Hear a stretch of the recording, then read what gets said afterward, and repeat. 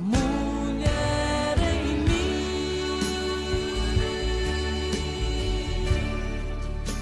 Vai então pedir, fala de amor.